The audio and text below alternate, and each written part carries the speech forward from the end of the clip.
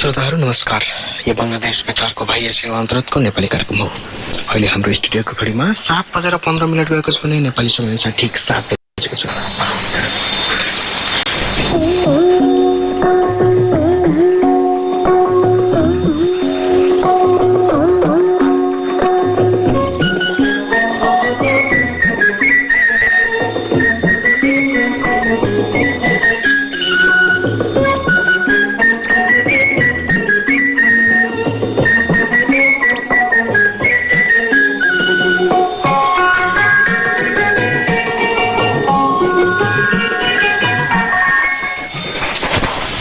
सर्टवेभको एकतिस दशमलव सात तिन मिटर ब्यान्ड तदन्त अनुसार नौ हजार चार सय पचपन्न किलो हर्स तथा एफएमको नब्बे मेगा हर्समा हाम्रो यो नेपाली कार्यक्रम प्रत्यक्ष भइरहेको छ।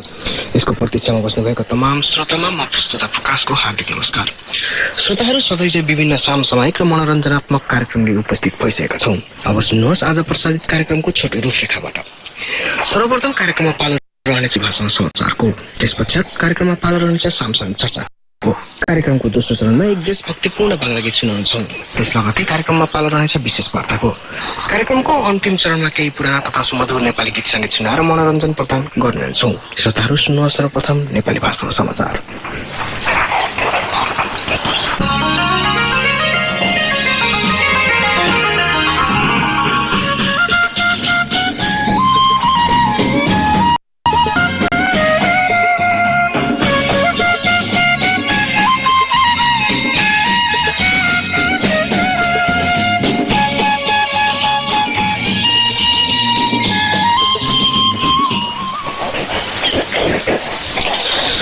श्रोताहरू कार्यक्रममा पालो भएको छ नेपाली भाषामा समाचार सुन्नु सुन्नुहोस्। नेपाली भाषामा समाचार म प्रकाश